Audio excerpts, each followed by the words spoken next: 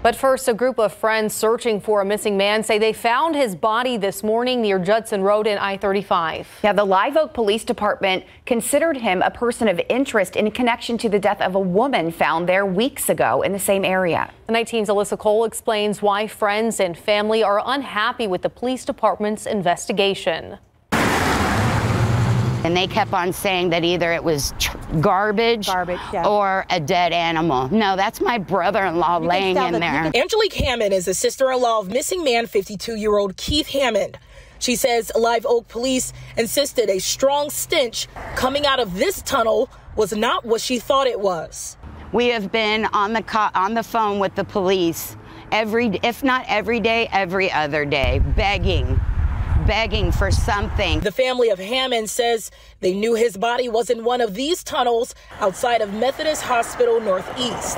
But after pleading with police, friends and family took it upon themselves to search for his body, and they claim they found it within minutes. You can still walk down, and his body's laying there, just badly decomposed, but He's, you know, know no, nobody took any effort to actually to look down there. The medical examiner's office has still not confirmed that the body is Hammond's, but the group says they recognize his boots. Family and friends say Hammond was last seen with his girlfriend, 50 year old Laura Brasino, on September 13th. Brasino's body was found just days after the fact, but not Hammond's. They say police dropped the ball on this investigation. You didn't do your job yep. that we pay you to do. I can tell you we have been out here at least two or three more times checking the area.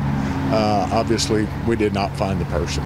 Live Oak Assistant Police Chief Matt Malone says their work isn't done. We're here with this today, so we're trying to piece this all together.